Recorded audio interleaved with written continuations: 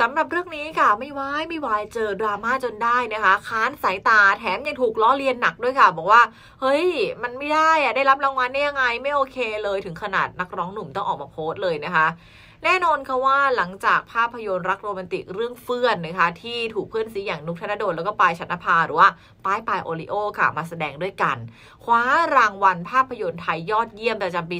2565 ไปครองได้สำเร็จนะคะ จากเวทีประกาศรางวัลสุพรรณหงส์ครั้งที่ 31 ค่ะ ท่ามกลางความดีดีของแฟนคลับของทั้งคู่ที่แบบอุ้ยชื่นชอบมากๆกันนะคะแต่อีกหนึ่งกระแสค่ะ ก็มีการวิพากษ์วิจารณ์อย่างหนักเหมือนกันจากคอหนังไทย บอกว่าเฮ้ยมันค้านสายตาคนดูมันได้ได้ยังไงอะ่ะไม่ไม่เหมาะเลยไม่โอเคเลย ล่าสุดค่ะนุกธนดลเนี่ยก็ออกมาโพสต์ข้อความร่ายยาวเลยนะคะ ผ่านทาง Facebook บอกว่าจริง ๆ แล้วเนี่ยสำหรับพี่ๆที่ยังไม่รู้จักแล้วก็ถามว่าผมเป็นใครมาจากไหน ไม่เคยรู้จัก ผมเนี่ยชื่อนุกธนดลครับ เป็นนักร้องบ้านๆตัวเล็กๆคนหนึ่ง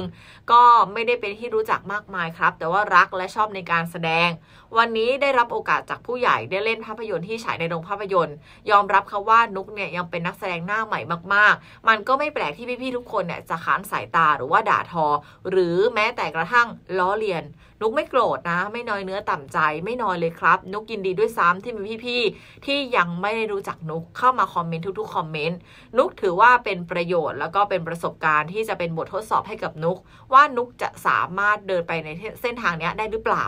นุกอยากให้พี่ๆเนี่ยที่กำลังมีอคติกับตัวนุก หรือว่ามีอคติกับค่ายเพลงเล็กๆของพวกเรา ได้ลองเปิดใจลองเข้าไปดูภาพยนตร์ ปราณีของพวกเราดูก่อนนะครับ สุดท้ายถ้าไม่ดี หรือมีข้อบกพร่องตรงไหน คอมเมนต์ติได้เลยครับ นุกและทีมงานพร้อมจะแก้ไข